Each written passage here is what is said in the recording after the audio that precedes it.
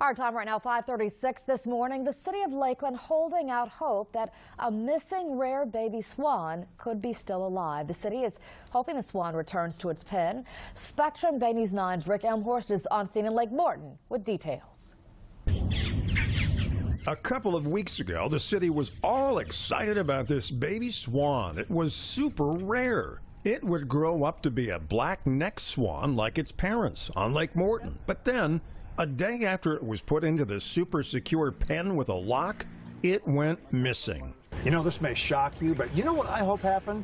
I hope that somebody broke into this cage and stole the swan. That's right.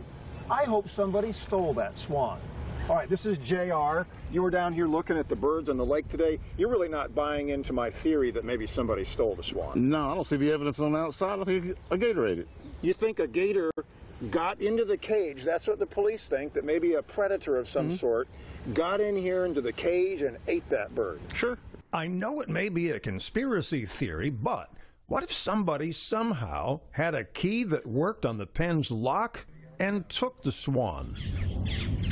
The swan was worth thousands of dollars after all. But, JR, here's the thing. The reason mm -hmm. I want the bird to have been stolen is because then it would still be alive. Don't you care about the bird? Sure I do, but it's a balance of nature. Everything's got to eat. On the outside hopes somebody would return the swan to the cage, the city took off the lock Wednesday and replaced it with a clip. What we're asking is if someone out there took that swan, we've taken the lock off pin one here at Lake Morton.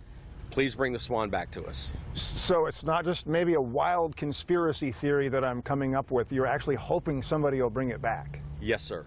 That's exactly what we're hoping. Okay, if your conscience is bothering you, do the right thing.